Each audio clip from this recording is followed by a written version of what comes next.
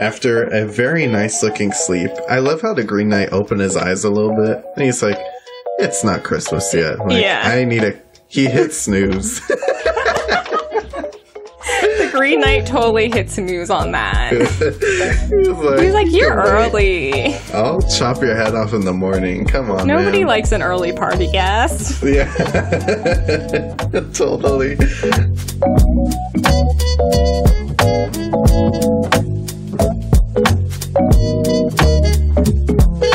Hello and welcome to the Art of Costume Blogcast. I'm Elizabeth Joy Glass. And I'm Spencer Williams. Yeah, did you forget that? that was like a long pause. All the LaCroix is going to your head. You need real water. It is real water. LaCroix is real water. It's not the same. Ugh. Hey, Elizabeth. Hi, Spencer. How are you? I'm fine. This is so awkward. Sorry, guys. We started this argument before we started the podcast, and it just hasn't ended. let's leave our uh, argument behind and maybe let's talk about some costumes. Okay. Talk about some costumes. Talk about a trippy movie. Guys, this week we watched The Green Knight. Whoa. That was like just something else. Yeah, that was one of the weirder things. Of all the movies I've seen in my life, that was certainly one of them. Yeah. Uh, it's it's a gorgeous film like if you're able to go to the theater and see it, it's definitely something that should be seen in the theaters. But for a Arthurian legend movie, that's not what I was expecting. I had to take the weekend to process it. I watched it a couple days ago and it was keeping me up at night. I was just like, what did I miss? what am I not getting? I know it was beautiful. Like it was stunning. The costumes we'll get into, but were absolutely stunning. And like the cinematography, the acting was brilliant. Oh, know, yeah. The dialogue was good. I just was so lost in the story, but like after I've had a couple days to process it, I think I really liked it. It just needs some time to sink in a little bit. Same. I'm like, you need to watch the movie, give it a couple days, do some research to understand the movie, and then you like it. and it works. So this I- movie is like a whole assignment in itself. yeah, we've we've been trying to prepare research for this, but we just had a lot of thoughts and feelings even before the podcast. yeah. I was just like, uh, oh, okay. Uh, well, let's get into it then. Let's just break this down together with everyone. Let's get into it. Spencer, do you want to read off a summary? I do, and I'm very excited because this week Elizabeth wrote the summary and I did absolutely nothing. You're welcome. I didn't ask you to. You did that. I know. We sound like a married couple in this episode. we do. We lived together for like a year, so I think that like But even when we lived together, I don't feel like we argued. that's true. Maybe it's just because we've known each other for so long. The podcast is tearing us apart. You're my podcast husband. Okay. Uh, the Green Knight. In the dark ages of Britain, young Gawain, the nephew of the legendary King Arthur and heir to his throne, while content with his life but lacking ambition, he struggles to find a place in his uncle's court. His fortunes change on Christmas Day when a mysterious Green Knight challenges the knights of King Arthur's court to land a blow on him, then see it returned by him next Christmas. Gawain steps forward, accepting the challenge, and decapitates the Green Knight, who rises and rides off with his head. Prompted by his uncle the following Christmas, Gawain sets off on his legendary journey to meet the knight for his return blow. I mean, that basically sums up about everything I understood of this wonderful Christmas movie. I mean, I was feeling the Christmas spirit. yeah, that that's like a very basic summary. So, if you have not seen The Green Knight yet, uh, this is your spoiler warning. Get yourself to a theater and watch it if you care. Don't blame us for spoilers.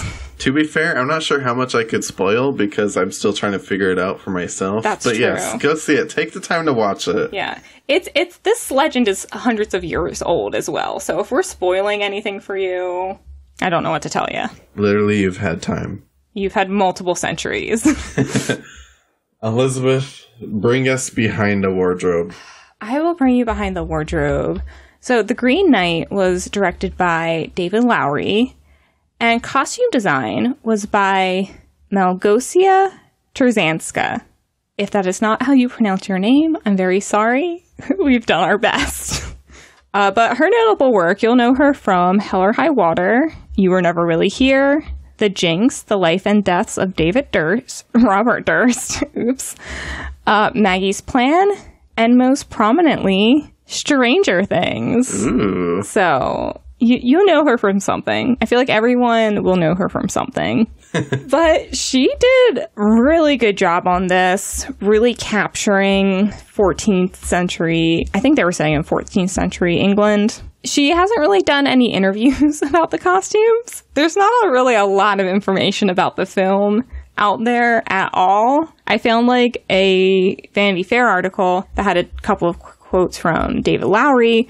All in all, not a ton of information out there about it. But one thing that is very clear is the whole costumes of the film very very influenced by eastern orthodoxy art especially from the byzantine empire That's a really awesome catch, by the way. you really see it in king arthur and guinevere uh, but then it's just kind of like spattered throughout the film Now that you said that about the Byzantine art, like that's all I can see now. That's such a good um, reference. yeah The costumes for this were just absolutely stunning. I think it's because, like, the quote unquote history of King Arthur falls between, like, the fall of the Roman Empire, the, like, Anglo Saxon invasion, and it's like a time in, like, British history that nobody really knows a ton about. Like, nobody was really keeping records of it, but they remained Christian even after Rome pulled out of Britain, and the only the Christian church or Catholic church that survived kind of after the fall of the Roman Empire was the Eastern Orthodox Church. That was the only one that was like still consistently like strong because the uh, Eastern Empire stayed intact for so much longer. So I feel like that's why they kind of pulled that over, but I'm not sure. Wait, I'm confused now. Is King Arthur a real person? No. so, so I really like King Ar- King Arthur Legends. It's thought that perhaps King Arthur was like a war chief in England during this kind of in between time in England where nobody really knows what was going on because the name Arthur like creeps up very just like out of the blue after this time period in more like noble lines. So it's like very ambiguous as to whether or not King Arthur was real because through through French romanticism, English retellings of it, it's really just it's been muddied, like nobody knows anymore. But it, it does fall with the legends fall within like a certain period of time kind of. Most people put it like more into the Middle Ages than like right after the fall of Rome, but Okay. Wow, Elizabeth has really taken us to school today. I I like I have a whole audiobook. The teacher really jumped out of you today. I just totally went on a rant. um, sorry about that. But yeah, that it kind of falls in that period and like Rome fell and like the church didn't in Europe and it, it didn't really fall with it. It just kind of had to like rebuild itself along with the rest of Europe. So like the Eastern Empire, which did not fall um, at the same time, their art and stuff is much more prevalent for that like post Roman, the Byzantine period, where they're putting this into. I feel like not all my facts are 100% correct. so don't quote me. Um, because they made it a very kind of like ambiguous where exactly this was falling, but that's what I got. With that being said, let's take a break. And when we come back, we're going to talk about the Green Knight and all the costumes. And we're going to break down this plot as best as we can. yeah. And I'm excited to talk about this with you. and save some more of this King Arthur facts that you seem to have because I want to hear more. I don't know. It's all deep in there, that, so they're just gonna pop up. Okay. See you after the break.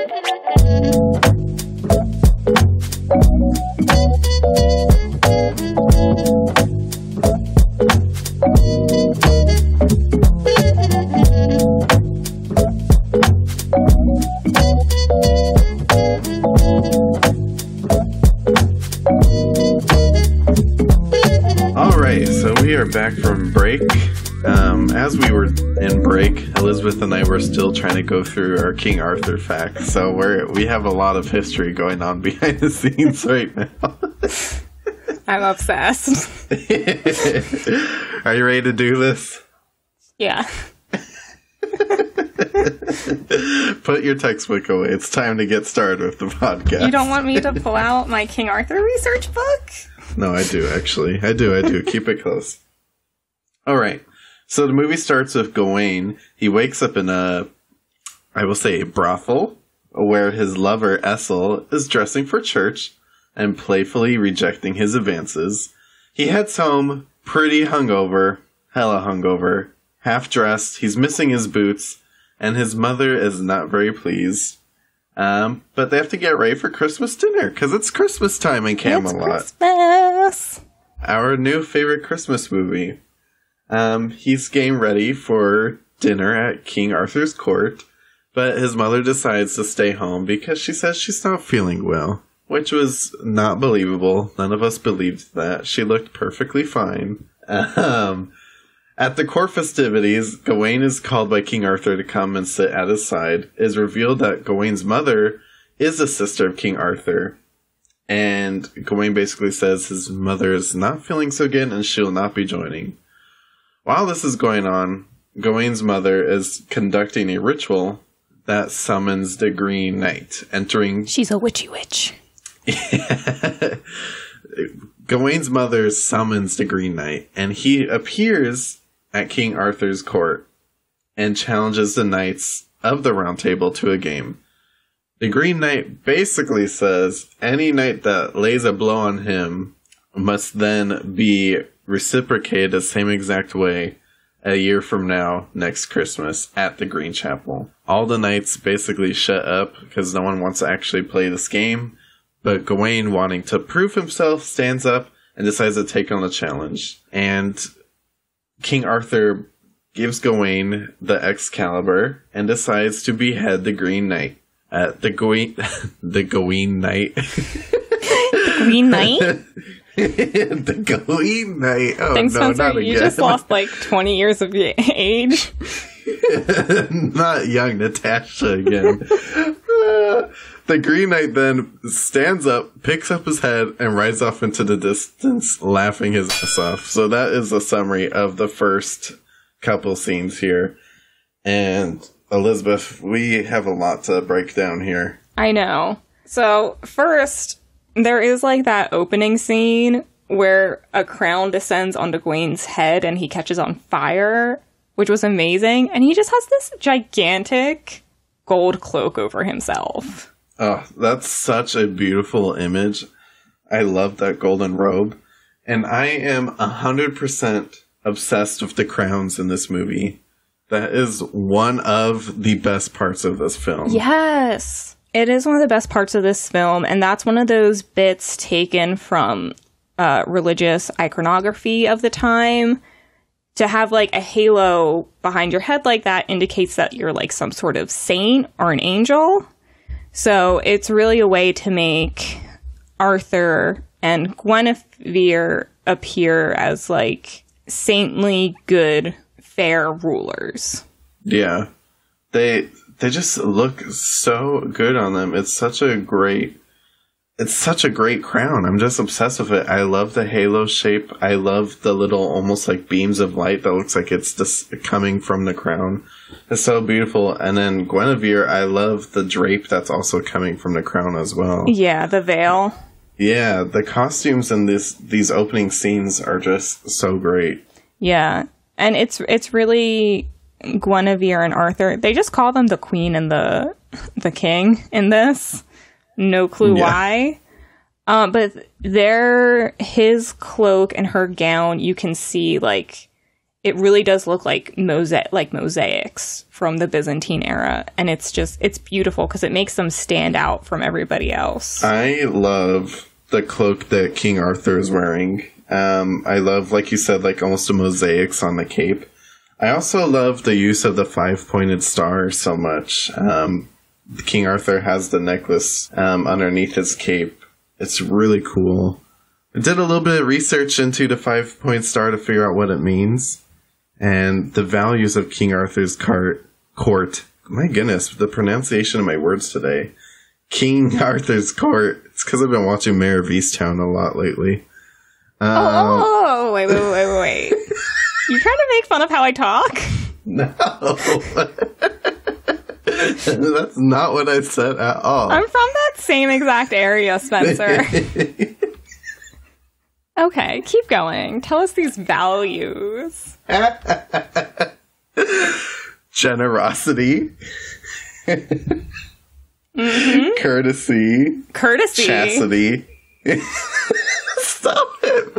I can't get through them. I'm sorry. Gener- generosity, courtesy, chastity, chivalry, and piety. Piety. Piety. Piety. There you go. Those are the five values of the five pointed star. Wow, that took a long time to get through. Anyways, I like the necklace. I think it's really cool. I'm glad you brought that up because I had completely forgotten about that. So I was like kind of confused when I saw it, and I was like, okay, so his sister's a witch. Is Arthur like a witch? But like King Arthur's magic always surrounds him, but he doesn't really participate in magic himself. So I was a little confused. But no, well, also, I love how they have Merlin at this table, but they don't really go as far as like really addressing that's Merlin. But yeah, I like this like ba- badass representation of him, though. Yeah, it is cool. I, they definitely go for a more like druidy look to him, um, because Merlin's often dissociated as he like coming from like a druid background. Um, but I also liked seeing like all the knights of the round table, but it's like, wow, they're all old. and they all look exactly the same. Yeah, they're all wearing like the exact same outfits. Looks like they're all wearing the necklace that King Arthur's wearing. I will say, like, Arthur, Guinevere, and Gawain are like really the only ones that stand out. He's looking good in his his tunic here. Ooh, I love that tunic. It is like a really cool kind of like paneled tunic and a lightish blue color and uh, he looks awesome. Yeah, it's kind of like like a light blue. It they were careful about using the color green in the movie because they were like, we don't want to be on the nose about this. Yeah. so they didn't they kind of tried to stay away from it but like when he's next to the green knight who also like doesn't really have a lot of green but is kind of it's kind of like an undertone for that character i felt like it kind of pulled out some green tones in gawain as well from that tunic because it's like he is like green in terms of like he hasn't really done much with his life like they all say like oh you're a young man you're a young man like he ha- he hasn't really had a life outside of Camelot. yeah. King Arthur literally asked him to tell tell him like a tale or whatever and Yeah, Gawain's like I don't have any. I've done literally nothing with my life. yeah. That that was so sad when he's like comes over and Arthur's like, "You're my nephew," and like, I don't know anything about you. yeah. um, but before we move on, Dev Patel plays Gawain really, really well. He does. For the lack of dialogue in this film, they really use what dialogue they have to really like push the performance to like a really awesome level. Yeah. Without saying anything, he acts his ass off. So Yeah. Um, so we have to talk about the Green Knight because this is one of two times that we see him in this film. It's the best armor I've seen since Game of Thrones. Ooh, y'all hear that? The best armor since she's seen since Game of Thrones. It actually does have a Game of Thronesy type feel. Did remind me of the Night King when I saw him the first time. Yeah. I love his armor. It's very kind of um, sleepy hollow in a way. That's what it kind of reminded me. Yeah. Especially with that, like, that woody aspect to him. Like, I really wasn't expecting that for him to look like a tree. That was cool. So it felt like he was more growing out of his suit than like he was wearing a suit. Yeah, like he's been wearing it for a very, very long time. The Green Knight is supposed to represent, in part, amongst other things, his nature. So that makes complete sense with him like kind of growing into his suit. I thought it looked really awesome. Um, before we move on, why did Gawain? He could have. He could have cut this man down anywhere. Why did he pick the head? I don't know. Gawain, I would have did a hand or something. Yeah, because he's like, you can. And he like literally kneels down in front of him, and he's like, "You can blow me any way you like." Like, just like he's like, "You can just like give me a little cut, and that'll be all." He just chops his freaking head off. I'm like, I'm like, that's why your uncle asked you if you understood the challenge. Yeah, did you understand assignment? I think not, because now you're gonna get your head chopped off. Like, what if he just cut his hair a little bit? You know, gave him like a little haircut with the Excalibur, and just chopped off one of his branches. Yeah. one of his branches. Oh, I mean that's a good idea because Gwen Gawain doesn't have any branches. Anyways, No, no, he doesn't. He probably would have just been like, "Cut, let's give you take some of your hair off." Okay, you're good to go. overall, the opening scenes to this movie are very beautiful. So, Elizabeth, do you want to talk about the rest of these opening scenes? Yeah. So in the subsequent year, uh, Gawain tries to put the challenge behind him, forget about it. He continues to spend his nights drinking and with Essel. As the challenge date arrives, Arthur decides to visit Gawain and tell him like, "Yo, you got to complete this challenge." And Gawain's like, "Uh, but do I have to?" And he's like, "Yeah, you have to." So they prepare him for his trip. Uh, but right before he sets off, his mother gives him this like little handmade belt. And she says, if you wear this the entire time and come back with it on, you will remain unharmed. That's a good way to put it. Um, some of my absolute favorite costumes of this section, and really in the entire film, are the costumes made for Gawain's mother, played by a actress I absolutely love, Sarita Choudhury. She is so stunning. I just love her. She's so beautiful and like fun to look at. And her costumes just are made for her so perfectly. And as well as uh, Gawain's sisters too. I love how they put their hair up in the different shapes, and I love the fabrics and textiles used to build all of their costumes. Yeah, and They're beautiful. here's where you can see. So I I looked up dates. Um, so the Roman Empire withdrew from Britain in 383, and then it's not the Norman conquest; it's the Anglo-Saxon conquest in 601. That's kind of the time period that Arthur falls in, and his mother and sisters have much more of a Roman influence to their costume as opposed to a Eastern Orthodox Christian Catholic like the king and queen because clearly they're still practicing magic, probably holding to some of the older religions. And so you see the like the draping and like instead of like the tight, you know, covered up mosaic, you see the more free drapery of like the old Roman Empire. That's a really good point. There is a lot of draping in their costumes in particular. Wow, you're like such an expert on this stuff, Elizabeth. You should start a podcast. Uh, no. I I don't know that much. there's so there's so much. It's ridiculous, Spencer. There is so much out there about King Arthur. There's like it's insane. So many people have tried to figure this out. It's nuts. There's even grave sites for him and Guinevere in France. What? Yeah. It's weird. I should read a book sometime. I'll f- I'll send you this audiobook. Um, another great part I liked from this section was the part where all the kids are watching the little play that's happening, kind of showing. Yeah, the puppet show. Yeah, the puppet show. I like this part specifically because it shows a lot of also the costuming. The costume designers are not just responsible for the main character and King Arthur. Like they have to dress everyone. And when you're looking at like these images of all the kids watching the puppet show, they each have like individual costumes that work well together. Yeah. The color scheme works perfectly. Um, lots of blues, lots of whites and tans, um, lots of scarves. It's definitely feeling like a cold environment. Well, it's well, December. it's Christmas time. It's December in England. so yeah, it's cold. but yeah, I loved I loved those little scenes because it was just really nice to look at. And it like it made you feel cold because clearly they're not going for the more fantastical elements of King Arthur. They're very much more grounding it in reality, which you can tell in these parts with the village children. I also love when they're preparing him to go, and it's like a whole ceremony where he gets like his shield, and it's like, ugh, that's so like medieval old world, like blessing him before his journey. Oh yeah, when they lured the chainmail onto him. Yeah. Oh, I would love to.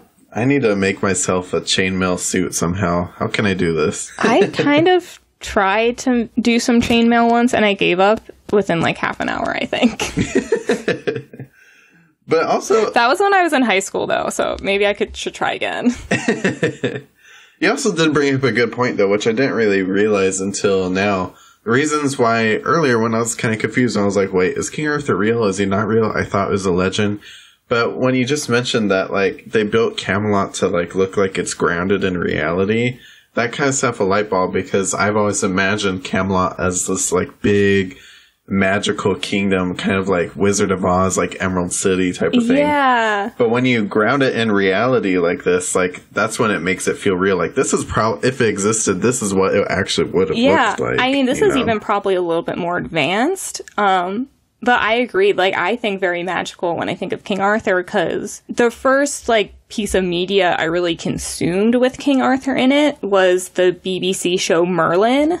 And that is a very like high fantasy, there's a lot of comedy in it version of the King Arthur story from Merlin's perspective, not King Arthur's. So like same, I always have more of a like fantasy legend like thought of Camelot and King Arthur in my head. This just gets rid of all of that, especially with King Arthur being so old and sickly. Most legends like he doesn't like make it past being like a young man. So it was really interesting to see, or like a middle aged man. He doesn't really get to die of like natural causes. Right. Well, yeah, I love all that. I liked when he was visiting his like his orange cloak. He's just like little. He looked like he was ready for bed, and it's like, dude, you're visiting. Did you not put more clothes on? yeah.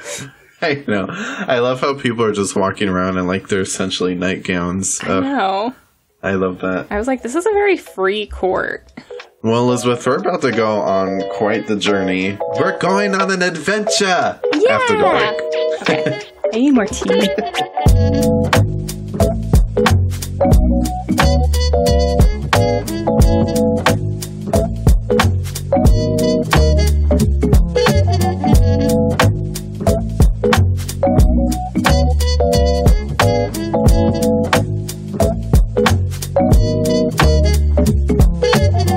Elizabeth, are you ready to go on an adventure? Going on an adventure. Did you remember your chainmail I did. and your your magic belt? I did. I did. I, I remembered everything. All right, so Gawain is now on his adventure. He's very reluctant. He was not planning on meeting the Green Knight, but King Arthur's like, you gotta keep your word. You're a knight. Mm-hmm. He's not a knight yet. Right. He's not a knight. He's like a knight in training. Yes. It's like a knight trainee. so he's on his way to the Green Chapel. He goes through this little scene where he's just walking on a big long road on a horse. He wanders onto a recently deserted battlefield and encounters a eccentric scavenger who gives Gawain directions to the Green Chapel. After he's given directions, Gawain goes into a woods clearing and finds he's been set up by the scavenger and his friends and is mugged and left for dead. He's tied up and just thrown onto the ground. After a very kind of creepy trip out where he sees himself dead in the woods, Gawain snaps to and he's able to get himself free and continues on foot without any of his cool armor or clothes until he finds an abandoned home where he is able to finally get some sleep. Kind Yes. of. Not really. Kinda. Um, but yeah, he sets off looking very dapper in his his chainmail. He's got his belt from his mom, which she wove and put like also a little piece of wood in. And I did just realize that ha- it's like a very very deep like muddy gray green the belt. I just actually realized that too as you were talking about that. I'm like, oh, it's kind of a greenish color. That's a good point. But um, it kind of just blends in with his chainmail though. But then he's got that great like almost like a burnt yellow goldish cape cloak. I'm like that thing wonderful. It's beautiful. That's that's definitely one of my favorite costumes of the entire film. I love that cloak so much. It looks like for a velvety fabric almost. Yeah. It just looks so comfy and warm and comfortable. I love it so much. I love, love, love. And yellow looks so good on Dev Patel also. It just it does. all these colors against the backdrop of the very gloomy Camelot in the background. It just works for like a very beautiful painting. It does. That was one thing I liked about watching this. I felt like you could take out like all the dialogue and just have someone recite the actual like Gawain and the Green Knight story over it, kind of a and it would have all made too. sense. Yeah, it's amazing how much you could get away with without dialogue. You know, and this film's kind of a testament to that. You didn't need a lot of dialogue to, I don't want to say understand what's going on because I will admittedly was pretty lost through mu- most of it. I will say, when I first saw it, I was like, "Ugh, this needs more dialogue. you have to let it sink in. You have to like take in the story and understand the values that the movie was trying to represent. Then it makes sense. After two days, I'm finally able to say I understand what the hell's going on. um, speaking of not knowing what the hell's going on, Gawain meets that scavenger in the woods, and to me, he immediately looked like a criminal. yeah, well, he meets him on a battlefield full of dead bodies. That's a red flag, ladies and gentlemen. and he's like, I think my brothers are here. I don't know. Yeah, I love that he has like a very tattered kind of olive green outfit, but everything about him looks very bandagey, very gauzy. It's just kind of like tattered. Even his chainmail looks like a little ripped up. which- Yeah. It's clearly pieced together. And then I, I love his like his necklace of like rings he's stolen off body. yeah, but apparently Gawain doesn't know how to read a room, He so doesn't. he's just like, oh, yeah, where's directions to the place I need to go? Also, I'm looking for the Green Knight and the Green Chapel. Like, too much information going. yeah. And the guy's like, Oh yeah, I know where that is. And he's like, Okay, cool, thanks. And he's like, You're not gonna give me anything for that? I look real scary. You're not gonna give me anything? Yeah. He gives him like two pieces of like money, and I'm like, I'm that's clearly not enough. He gives him two shekels. gives him two shekels, and then he is subsequently just like ambushed in the woods by his scavenger team of misfits. Which that girl though, when I first saw her, her like the way her hat was, I was like, she have cat ears. I was like, does she like cosplay? Like, I would not have been surprised in this movie, honestly. But yeah, no, I love the way the costume designer put together the looks on these scavengers because it did feel very different from what we've seen in Camelot area. Like it felt like these people were very of the elements and were piecing together their costumes from probably people they've killed or people that were already dead. Yeah. And I like this because you get to kind of see more of his costume as well. Because they've taken his cloak, but he, I believe he does get that back. Uh, they've taken his cloak, his chainmail, his belt, which his mom told him not to take off, but whatever. He's kind of, His mom probably didn't think he was going to get mugged 15 minutes into his journey. that's true. But when he's laying on the ground, you get to see these amazing, I believe, leather, like, riding pants he has on. Like, are laced all the way up his legs and, like, go over his shoes. It's so cool. Yeah, those are dope. I love those. I wonder if how comfortable they are, but it makes sense because he's supposed to be riding a horse for what a week or so. Yeah. Six days. Six days. That's a lot of horse riding. Yeah. but he escapes. He gets at least his sword and his cloak back, which I'm like, okay, cool. At least he didn't lose that that great cloak. Yeah, I was upset. I'm like, you better not lose the cloak that fast into this journey. No, but he he gets what he can back. And he's laying in the bed just trying to get some sleep because he's like, cool, nobody's here. Great. But he's awakened by a woman whose name we find is Winifred, and she's like, I need your help. And he is very confused by her request because she's like, I need you to go out to the pond in front of my house and uh, retrieve my head. I was assaulted by a traveler much like yourself. So he cut off my head and threw it in the pond while I was sleeping. And Gawain's kind of like, uh, okay, are you going to give me something in return? And she's like, what? No, I need my head back. Please. And he's like, well, I'm about to get my head chopped off, so I'll go get it for you. So he jumps into the pond, has some like trippy little like vision thing about the Green Knight, but retrieves her skull, uh, walks back up to the bedroom where her headless skeleton is peacefully sleeping in the bed and he just puts it right back where it belongs on the pillow. I love this scene. I thought it was so cool. This I would love to just like read a story behind the scene, but it was just very f- interesting. I thought it was really cool that they put this in the film. Yeah, this was my favorite scene. Winifred, played by uh, Erin Kellyman, she was wonderful she was like the only funny person in this movie. Yeah. like this was like the comic relief scene and it was like not super funny. Totally. And it's funny because I never really see her as like a, a comedic actress too because we know her now from Falcon and Winter Soldier and the Han Solo film. Um, she's a younger actress. I believe she's only 22. She's stunning. Yeah. I loved the costume she was wearing. It was like a white kind of ghostly gown, which is what told me that it was a ghost or a vision of some sort. Yeah. The fact that she didn't like notice you when you first walked in, like you, she's a ghost, but it's like it's beautiful. It's like super like gathered. I don't think it's pleated. I just think it's gathered and just like drapes around here and it's just like billowing.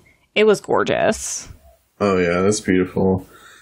It's such a like cool modern take on the ghost too, which yeah. I thought was really awesome. And I also love because he's like, "Wait, you have a head," and she's like, "You just see it there. It's not. I don't actually have my head." And he's like, "Wait, are you a spirit? like, is that is that like, why?" And she's like, "What does it matter? I need my head back." the world's sassiest ghost. She's like, cut the shit, man. Just go get my head. Just get like, my this head. isn't the conjuring. Yeah. She's like, I just get it, put it back. Yeah, I don't want to be in one of your horror movies. Just go grab my head so I could go back to sleep. Yeah. And you could go sleep somewhere else for all I care. Uh, yeah. And I'm like, oh, he was like sleeping on top of her skeleton, I think, like earlier. I mean, that bed looked nice when he got there, though. Yeah, that bed looked dope. I I was in the dark theater watching. I was like, "Ooh, look at that bed." There are some good beds in this movie. yeah, they got some comfy beds in Camelot yeah. and this region of England. Ooh, every bed they like jump on it. I mean, there's another bed coming up in a few scenes. That I was like, "Damn, that's a good bed." I'm like, I could live in that bed. Like. I I've got lots of inspiration for like a new bed, but anyways, do you want to go to bed? I'm tired. No, I'm kidding. Wow. I know we're vampires, but we can't be vampires all the time. so that was a great scene. Um, after I, I'm hoping Gawain got some sleep, but he jumped into a pond and had to get a dead girl's head, so I'm gonna guess not too much. Gawain continues on his journey, and he comes across a very nosy fox who seems to really have something to say, um, but doesn't say it. He's just following him. The fox is just following. The fox is so cute, though. I'm like, I want a pet fox now. It is so cute. Uh, Gawain goes about his journey, comes across some rough terrain, and finds a colony of naked giants marching through the wilderness. Yeah I will admit, Elizabeth, I have no clue what the f- is happening um, in this um, scene. but there are like I, I think Irish legends of uh, giants in like northern England and Ireland, maybe Scotland. So I think that's where that's coming from. I kind of figured, like, I know that there's like historical legend references throughout. I guess I just haven't heard that one. But I mean, it was beautiful. I thought it was interesting for sure, and um, you know, visually stunning. So after Gawain tries to talk with the giants and doesn't work out, yeah, he he's like, "Can I can I get a ride on your shoulder?" And I think the giant did try to pick him up, but I was like, "That's." The giant didn't really have a lot to say. He just basically was like, ah! I think the And- giant was just as confused. Anyways, Gawain keeps going, finds himself in a bad storm, so he heads off to this very conveniently found castle in the middle of nowhere, knocks the door, and he found a place to stay for the day. Night. Yeah, he finds a place to stay for the night, and he's like looking rough at this point. His clothes are a mess. He's like been tripping on mushrooms. It's just like a whole. He's a whole mess. This uh, little vacation trip, this live, laugh, love tour he's planning going on has been nothing of the sort. It's No. been a mess entire beginning to start. From being mugged It's all because he couldn't spare more coin for that scavenger. That's the only reason. Oh my gosh, I know. Ugh. And he just needs to give off like some stronger energy. But anyways, let's take a break and when we come back we're gonna finish out the rest of this very beautiful film. Yes.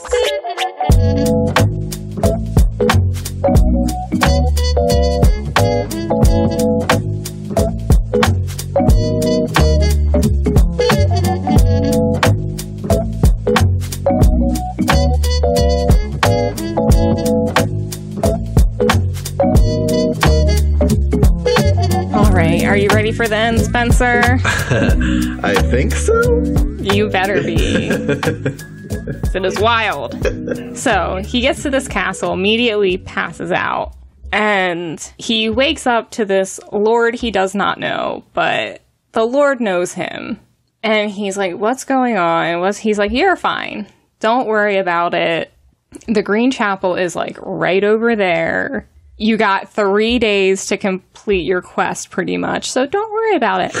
hang out here. I go hunting all day. So you can hang out here, get your strength back, you know, and then go face the Green Knight. And he's like, uh, oh, okay, I guess. So he's at home all day with the hot young lady of the house who looks strangely like his lover back in Camelot, Essel. And she basically spends all day trying to seduce Gawain. And he basically is like, I can't do this. And ends up fleeing the house to escape her and ends up early to the Green Chapel. He shows up early. It's like, oh, okay. yeah, he literally shows up early and he's just waiting there. um, I love these castle scenes because some of the most beautiful costumes are in these couple scenes. so good. Specifically on the lady. yes. I mean, that like blue velvet gown that she wears for Oh, with the plunging neckline. come on, man. I mean, this gown is just ooh. It's like it's like ruched really beautifully, and then she has this like sheer like cape sleeve, like not really sleeves, but like a sheer cape around her. And apparently she's into photography, which I was like, this is an interesting take. Okay. um, but she looks great. She has that like that white outfit with like the the very like it's lacing, but it's it's very um simple. It looks it looks 3D printed parts of it. Yeah. Did I just hear a cat? My cat needs to be let out. Hold on. I'm watching Elizabeth take her cat out. She, I like put a chair next to me so she could like sit here and be petted by me. And I was like, oh, I hope you just sleep here the whole time. And then, like, as we started, I see her get up and start pacing in front of the door. And I was like, no, no, no, don't do it. Don't do it. um, anyways, we're talking about the lady's white outfit too. I do like it almost looks like 3D printed like webbing on her, but it's like a really beautiful lace. Yeah. Um, the jewelry she wears, the hairstyles are Oh, just. yeah. They're out of this world. Also, I didn't realize that the lady's also played by Alicia Vikander, who also plays Yeah. Essel. I mean, I did not realize that till I was doing my research today. Yeah. They really transformed her for both roles. They do, and it took me because like when, as soon as he sees her, he's clearly like freak, freaked out in a way like I know you, but I don't know you. And then when I got home, I was like, hold on a second.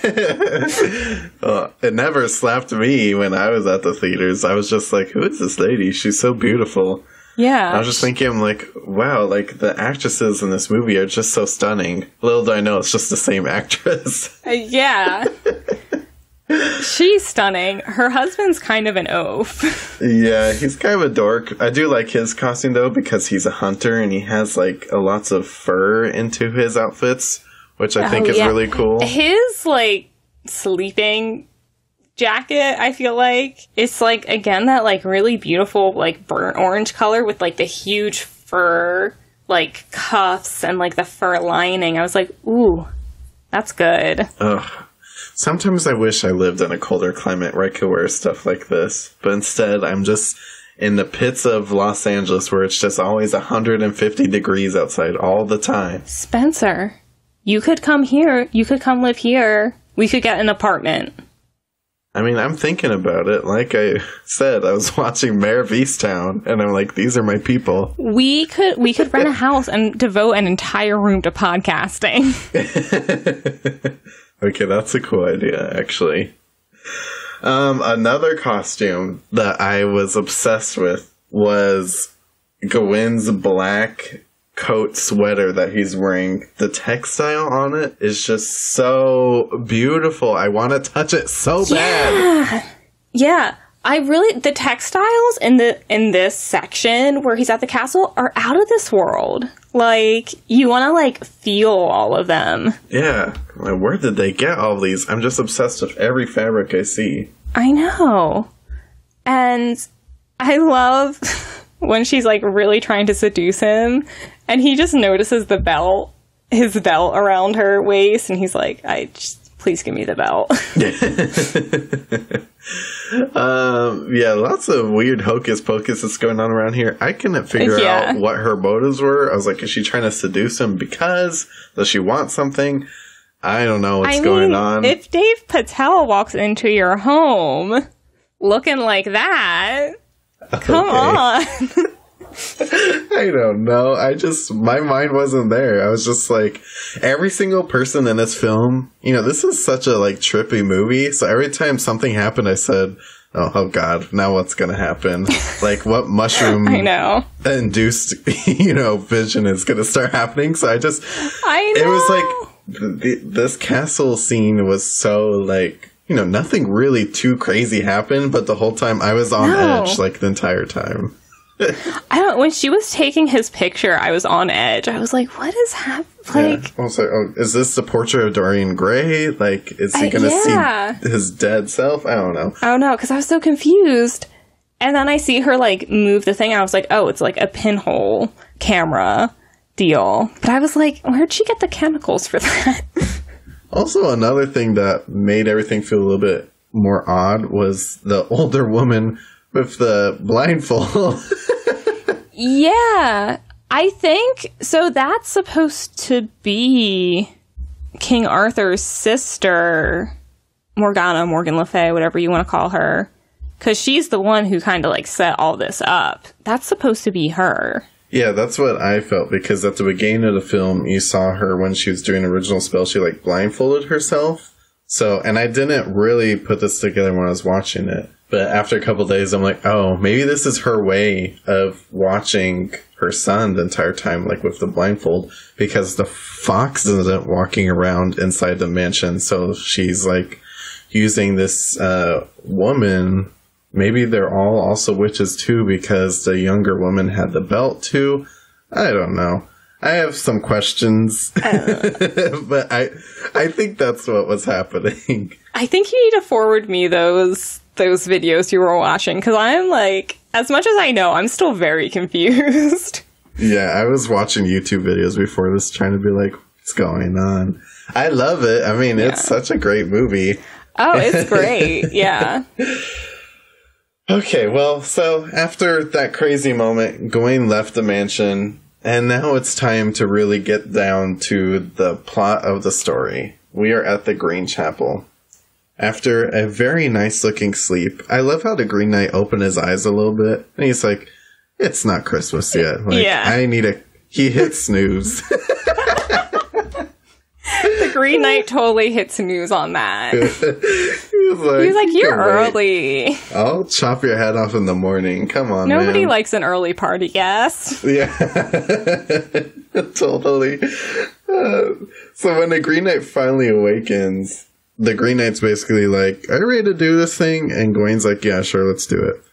And then he gets down on his knees and he's like, "Oh, like, is this actually it?" And the Green Knight's like, "Yeah, I'm gonna chop your head off." Like, I don't know what part was unclear to you when I said I'm gonna do exactly what you did to me. So Gawain starts to panic because I think he thought like some sort of like party was going to start happening or surprise party where all of his friends would jump out of the bushes and say surprise. But no, Yeah. Because the Green Knight called it a game. You generally don't die at the end of the game. yeah, that's fair. And Gawain panics and runs away. he Says, "I can't do this." He gets back to Camelot, and this begins a montage.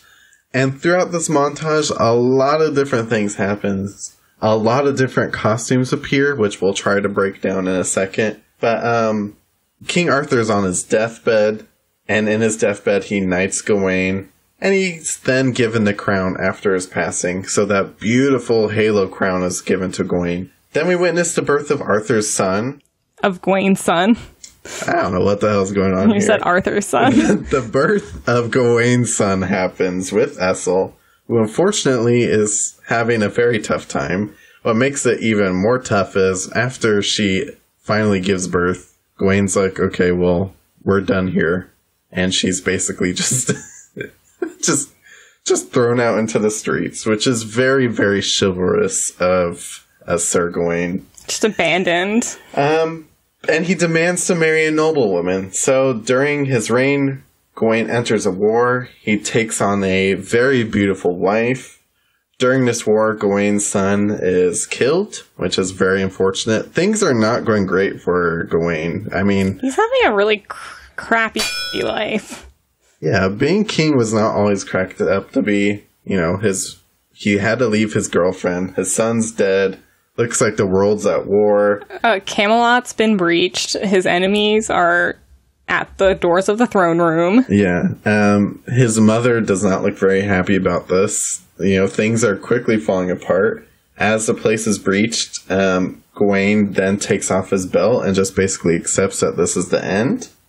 And suddenly, to all of our surprise, Gawain wakes up and he's back w- with the Green Knight at the Green Chapel. So we realize that it's almost like his entire life just flashed before his eyes. And honestly, he had a pretty shitty life going forward. Yeah. And very impressive to me, Gawain basically takes off his belt and says, Actually, let's just play the game right now. You could chop my head off. And I love that the Green Knight's like, Okay, finally, like that's what I've been trying to say. And He's almost like, I'm proud of you. Now let me chop your head off. I'm proud of you. And he says, Off of your head. And that's it. And he strikes a blow. You don't see it happen. And we'll, we'll talk about that in a little bit because I have some different theories also. So let's talk about all the costumes we saw from this montage before we talk about our final thoughts. So, my favorite costume of this montage is like, I'm gonna guess it's like a foreign princess that he marries. Cause they're, like, the way they dress is so different from everyone in Camelot. It's all this, like, pleating and layers, and I was just like, oh, girl, your people have a good style. Oh, I loved it. It was giving me very like Queen. I think it's Elizabeth. Yeah, Queen Elizabeth. Elizabethan. Yeah, it's giving me like very Queen Elizabeth vibes. Um, I love that one film, which it's Escape. I think it's just called Elizabeth with Cate Blanchett. Oh, I have never seen those. Oh, that's very good. But it's giving me those vibes, but also like Mary Queen of Scots. So it's also like she's definitely from like a outside land coming in. Yeah. Well, with the blue paint, she might be Irish or Scottish. That's what I was thinking. Um, but that white outfit is just so beautiful. I know. I mean, she looks like an angel walking into the round table. Yeah. Um, I also love Gawain's final outfits too. When he looks good as a king, not gonna lie, especially when he gets a little bit older too, and he has like the gray in his hair. But the crown looks good on him. The textiles again, like the textiles that go into like his his top and like the collar. It's like this gray kind of really nice textured fabric. I'm just obsessed with it. Yeah. It looks so good. his good. coronation his coronation like get up that's kind of what he's wearing throughout the rest of it but it just kind of like changes color Yeah, I think as he ages, it just almost it almost looks like the garments kind of age along with him, which is pretty cool actually. but still the entire time he's wearing that green belt he's wearing that green belt. He won't let anybody take it off which i'm like that's awkward but okay. And then when he's abandoned in the um in his throne room and he starts to take it off i'm just like what's happening and then his head comes off Oh yeah, that was pretty scary. I was like, "Ugh, But okay. also, my thing is, why now? Why are you taking off the belt the first time you actually need it? um, well, no, I think because he knows, he knows he's, f***ed. and like they're either gonna horribly murder him or like parade him around and then horribly murder him. I thought like no harm could come to him though. Well, if he keeps the belt on, but I'm sure they're gonna rip that belt off him. So either way, his head would have fallen off. Oh yeah, it is a fabric belt. I just realized it, it wasn't like surgically in his body. no. Um, but yeah, I love all these scenes. I love like all the armor and the war scenes. That's all very beautiful. I thought the costume designer Malgosia did really awesome with all the armor. Even just like like looking at the pictures of the coronation with all the men and like the very classic medieval Yeah. armor silhouettes. the white very beautiful. It was. It was just it was beautiful from start to finish.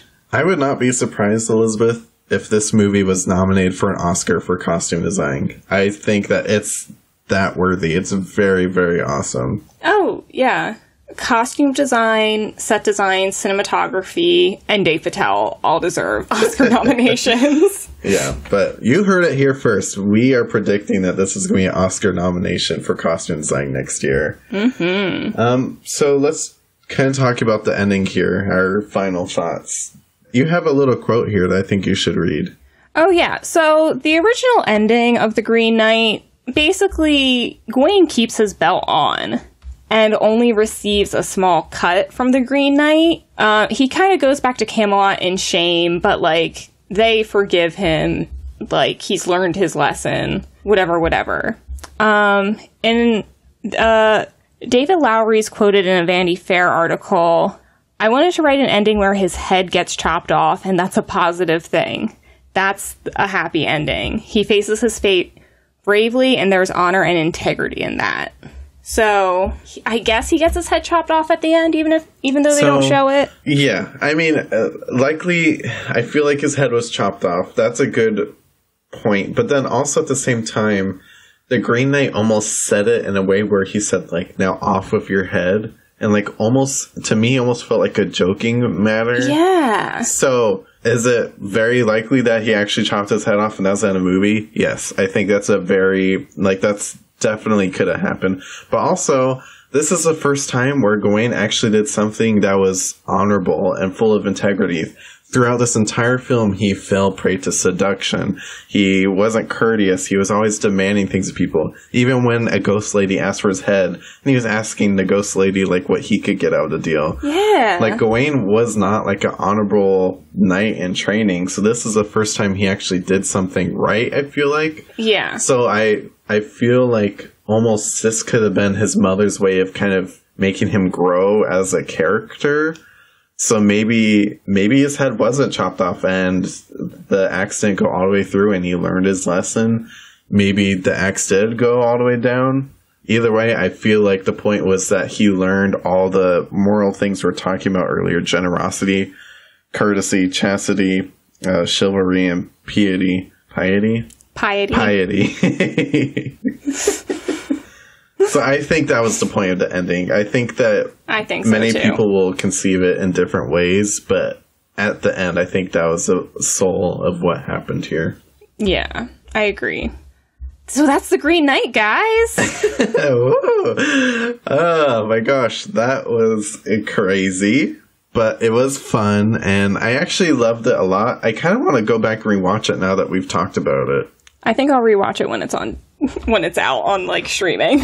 Yeah, it. I don't want anyone to be confused. We love this film. I definitely re- recommend you see it. Yeah, we were a little confused at times, but you have to let it sink in and just take in the visuals and these going to be one day Oscar nominated costumes. Just really take it all in because it's really worth it. It is. Well, Elizabeth, what is our next adventure going to be? So, we're bringing it all the way back to the modern age, Spencer. We are watching Space Jam A New Legacy. Oh, Hell yeah. I am so excited. I am a huge Space Jam nerd, so I am so excited to see the new film. I like can't wait. Oh my gosh, I'm going to annoy you with all my Space Jam love next week. Sounds good. Sounds good. all right, guys. Uh, give us a like, a follow, tell your friends about us, and we will see you next week. Bye. Bye bye.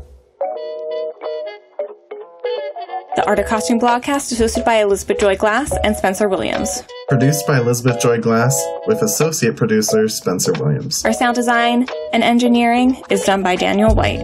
Follow us on Instagram at the Art of Costume Pod, or visit the artofcostumeblogcast.com for all blogcast updates. For more costume reviews, deep dives, and interviews, visit theartofcostume.com, a blog dedicated to highlighting the best in costume design.